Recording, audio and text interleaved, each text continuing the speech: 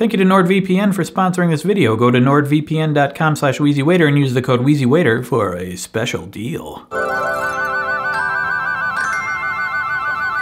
Let's begin with one of my favorite quotes from Hank Green. So I want to talk about your dreams.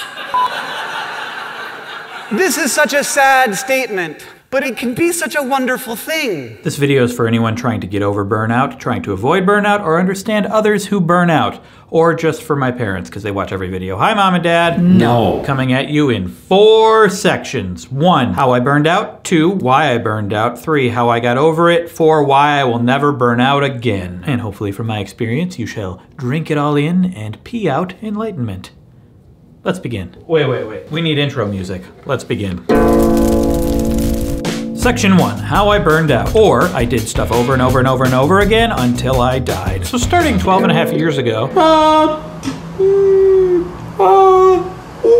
I made thousands of videos, you could say. And after about 10 years of doing that, I experienced burnout. At least I think it was burnout. I assume burnout is a specific thing and it's exactly the same for everybody. Everybody's going to experience it differently. Oh, really, But- Kati Morton, licensed therapist and YouTuber who has done a playlist of 14 videos about burnout. Tell me, what are the symptoms of burnout? Irritability, difficulty sleeping, and here's the kicker and where it kind of differs from anxiety or depression, which if burnout goes untreated, it can lead to those things. We tend to start resenting the quote unquote job we're doing. And this isn't like the normal, oh, I don't want to get up for work. woo." You don't feel like yourself. I used to think I wanted to be like a talk show host, someone who went out every day and performed and told silly jokes. Then something happened that kind of ruined that for me. I did it in video form a lot, over and over and over and over and over again for years, to the point where I was writing jokes that I wasn't sure I had already made. And sometimes I did repeat them. And then after that, every time I'd watch someone like Colbert or Conan or something, I thought they must be miserable having to go out there and do that all the time. True, they had a studio audience, which makes it different, but also, it turns out that's just not something I wanted to do, at least after a while. Which leads us to number two. Section two, why I burned out. Or, and we'll have fun, fun, fun till the work put in is not worth the pain. Here's why. Why do we burn out? When the reward for what we do isn't at least equal with the effort we put in. Ah, so I need to make more money? And the reward isn't just money. Oh, uh huh. The reward can be ability to reach people. For me, the reward is like connectivity, I've realized, with what I do online. And if I'm so busy that I don't get to connect with my audience, then I become super agitated. I think a lot of people associate it with just like overwork, especially on YouTube, like the constant grind of having to put out more and more videos. I didn't feel like I was overworked. What I felt was just a loss of of meaning in it. Is that a form of burnout? yeah, because the reward was meaning for you and it was lost. So I'm realizing that my reward is actually just being proud of the thing I've made. In the beginning, I thought the point was to entertain. Watch me be dumb so I can brighten your day. Actually, that's what I like to tell myself the purpose was if I'm being optimistic. And lying a little bit. If I'm being 100% honest, the purpose was probably mostly that I got to do things like this for my job. I get to be my own boss, make my own schedule, and just do what I enjoyed for a living. It was the dream. I genuinely enjoyed writing, performing, shooting, editing video for its own sake. For my first 100 videos, I had 32 subscribers. No one was watching, and it was still incredibly fun. I was a production nerd. Problem is, things only stay fun for so long. Fun's a finite resource. I was banking my career on a finite resource.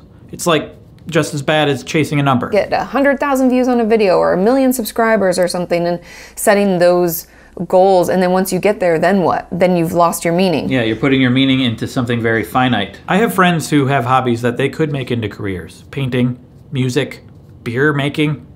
And if I suggest to them, hey, you want to make this legit? They scoff at the idea. I always thought that was silly. Why not just figure out a way to organize your life so that you can do what you love all the time? Turns out they were right.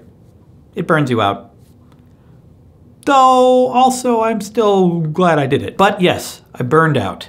The thing that I thought was fun wasn't fun anymore, so the meaning was lost. Section 3 How I Got Over It, or Past Craig is a Dingus. Though current Craig is also a dingus, but past Craig is more dinguser. Here's why. By the way, you know I'm getting all this really even lighting on my face right now? I'm using an amazing bounce board known as Midwestern Snow. So, how I got over it. One, denied it. I just kept making things as a way of searching for what my next thing should be. How does one motivate his or herself if he or she were to want to motivate him or her to be a better man or woman? There are things that are intrinsically motivating to a person, mm-hmm. and you have to figure out what those already are. Baby and wife are priority number one. Yeah, Sometimes I struggle with what is priority number two. Why should I make videos? that maybe it's not even number two. Number two, Yeah. pizza. Yeah. Number three, Legend of Zelda Breath of the Wild. Not a good idea. Didn't really work. Probably made it take way longer than it should have. Two, eventually stopped and then did something completely different. And that different thing was to stop chasing fun and to start chasing meaning. E minor represents meaning. Listen how deep that is. Maybe what took me so long to figure that out was that I couldn't let go of what I thought my past self wanted because that's what I was supposed to do. I set up my life for that. I'm reminded uh, again of what Hank Green said. So I want to talk about your dreams. Basically, what he means is at some point in your past, you decided what your goals and dreams would be. And then, as you got older and you got more experience, But it turns out that you might not want the thing you thought you wanted. which is good news because This is weirdly freeing. Like, you don't have any obligation to your former self. You, there's no loyalty to them. There's no loyalty to a desire you once had. basically seeking out a life of absurdist fun didn't do it for me anymore.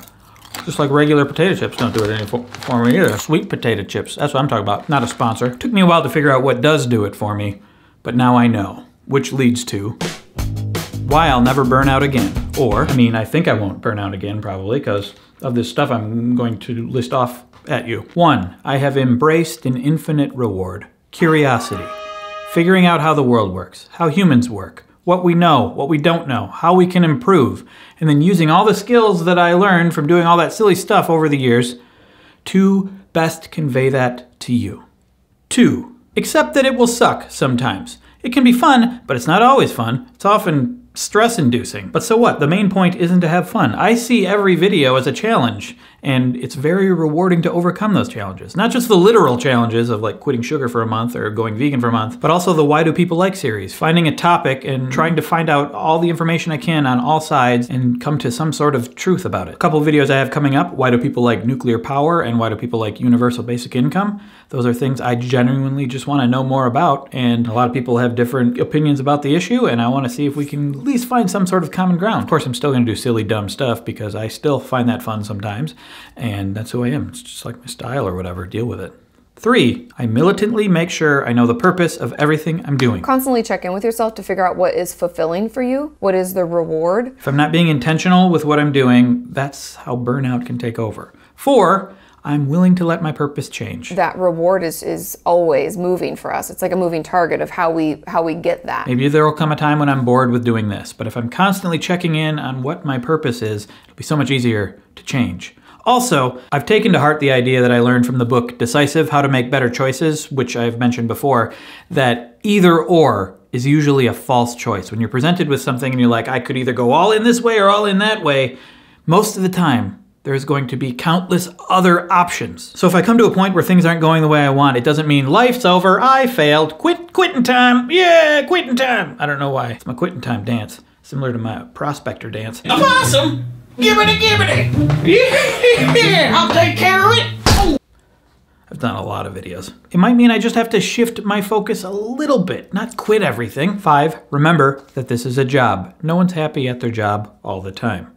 That's okay. It is, in fact, a job. You can walk away from it. It's not healthy to make it the only thing in your life. Finding ways to work smarter, not harder. Having kind of a set schedule, not making your to-do list longer than seven things. Sometimes I get the feeling that I should be working harder. Oh, I should do this, I should do that, because this job is amazing. I'm very privileged and lucky to be in this position, to be able to do this for a living. So there's always this little bit of guilt whenever you feel like, oh, I don't want to do it. But at the end of the day, it is a job. Sometimes I'm not going to enjoy it.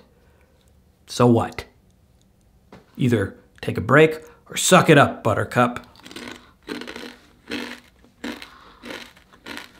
Now I'd like to thank our sponsor, NordVPN, virtual private network. Not only a network for privates in the army, but also commanders and generals and lieutenants, and actually anyone outside of the army. You probably weren't confused by that. Take control of your internet. Out of control, buddy. With Nord, you can tell the internet that your computer has a different IP address in a different country. So any of those nasties out there who try to break in, they won't even know where you are. Super fast servers, risk-free, 30-day money-back guarantee. Not just like the back of your money, but like all of your money. You weren't confused by that either. Unlimited bandwidth. I don't know about band heights? Probably unlimited as well. It's really useful when I'm traveling. If I'm like mid binge on a Netflix show that only shows in America, I can tell it that I'm in America and I can watch it. Right now, let's say we're in Austria. The alive. Sound of Music takes place there. That's the only thing I know about Austria. I need to travel more. I should go to Austria, use Nord to say I'm still in the US, and then watch Sound of Music on Disney Plus as research so I know where that mountain is so I can go twirl around where Julie Andrews did. That's my new goal. I'm done with curiosity. Just go to nordvpn.com slash wheezywaiter, linked down there, and get 70% off a three-year plan. It's 349 a month for 36 months. And if you use the code wheezywaiter, you get one more month free. Thank you for watching. Previous video, I went to bed at 7 p.m. every night to see if I could improve my terrible sleep. YouTube thinks you'll like that video. You can subscribe right there and click the bell so that you get all the notifications. You can support me on Patreon. One of the perks is I upload a video every single weekday. I do a monthly live stream, I do bloopers, and I do poopers. That's not for Patreon, that's for myself. What a way to end.